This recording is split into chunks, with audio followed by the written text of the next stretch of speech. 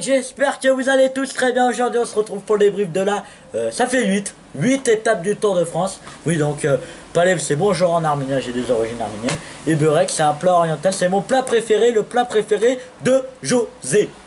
Peut-être que je le mettrai là, euh, en petit. En petit, voilà. Bref, euh, on va tout de suite débriefer cette étape. Alors, il va y avoir une échappée qui va se faire au kilomètre euh, 10 à peu près, 10-15 euh, kilomètres et qui va aller euh, jusqu'à 25 km à peu près de l'arrivée. Elle s'est fait reprendre un peu plus tôt que prévu à mon avis car il y a eu une grosse chute dans le peloton maillot jaune euh, qui l'a coupé un peu en deux, des petits groupes après qui se sont faits. Il y a eu Dan Martin, un des favoris de ce tour, et le 2 ou 3 du classement général avant ça. Il est dans les 5 premiers du classement général avant cette étape. Le français Julien Lafilippe qui a chuté, qui ont perdu euh, une cinquantaine de secondes, il me semble, au classement général. Euh, bon, je ne vais pas vous mettre le classement général après parce que ça sera trop long. On le verra au milieu du Tour de France, je ferai un débrief de, milieu de Tour de France. Bref, après, une échappée donc qui s'est fait reprendre à 25 km de l'arrivée. Et comme prévu, un sprint massif. Bon, il y a eu beaucoup de virages en fin de, sur la fin d'étape. On aurait pu penser qu'il y aurait eu des chutes. Ça aurait, pu être prévu, mais pas de chute euh, sur, en fin d'étape. Toujours pas de victoire française. L'année dernière, on se rappelle une victoire le 14 juillet de euh, Warren Barguil. L'année d'avant, Froome qui avait un maillot jaune, euh, un sur le Tour de France. C'est le truc qui avait fait le Tour du monde. Je veux pas revenir là-dessus. Il y avait un truc que j'étais pas d'accord. Bref, voilà. Alors cette année, une étape classique. Euh, sans coup de bordure, euh, comme, disait, comme il disait sur France Télé, euh, il y aurait eu du vent sur cette étape-là, et il y aurait pu avoir des coups de bordure ou comme hier. Bref, voilà, donc oui, un sprint massif, une étape remportée par Dylan Groenewegen. Bon bref, je me répète. Dan Martin, c'est un peu bête ce qu'il a fait, et Julien Alaphilippe aussi, surtout Alaphilippe pour emmener Gabriel au sprint, et, Dan Martin pour emmener aussi Alexander Christophe, on sait jamais, ou même Dan, des rester derrière lui. Ils étaient en cul de peloton, ce que je comprends pas.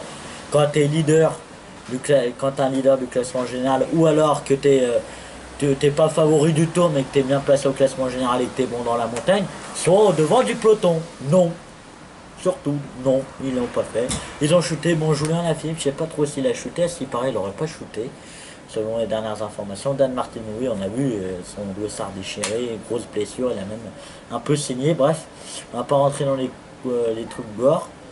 Mais voilà, les amis.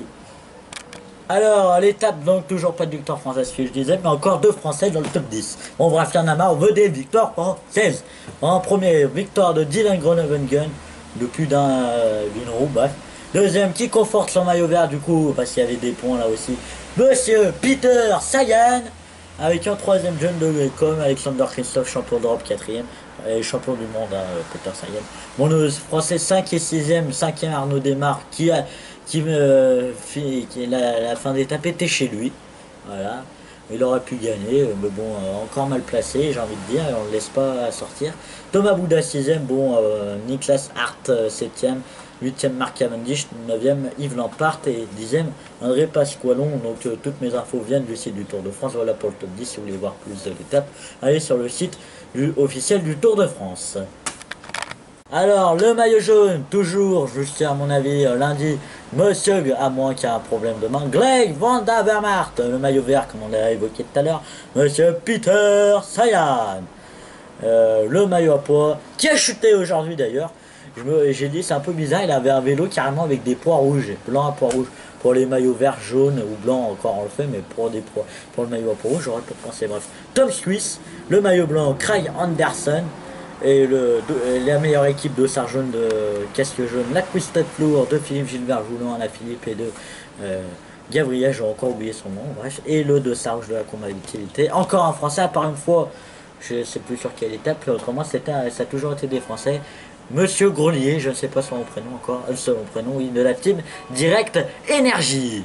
On a beaucoup de bons trucs euh, sur cette étape pour la Direct Énergie avec le dossard rouge, une sixième place. Pourquoi pas demain une victoire française de la team Direct Énergie Demain, c'est l'épreuve, euh, c'est euh, l'étape qu'il va falloir bien faire gaffe avec les pavés, 15 secteurs pavés dans le nord.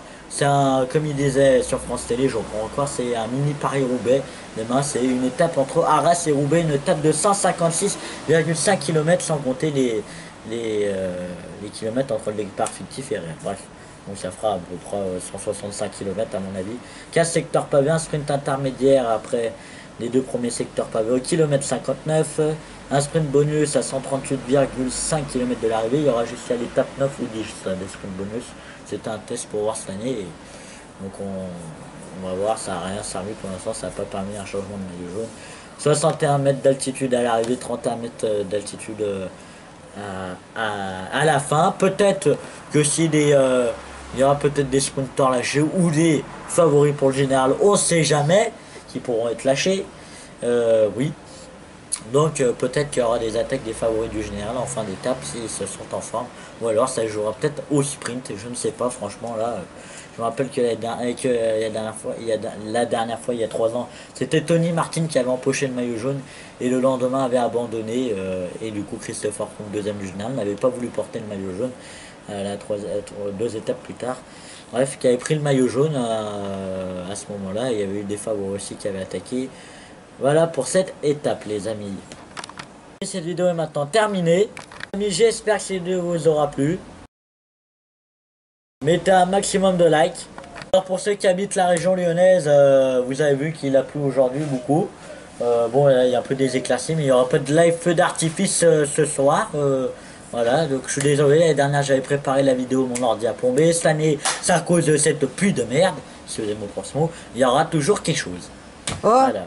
José, Quoi? t'as vu? Il y a du brouillard. Arrête, tu fumes, tu vois bien le caméraman.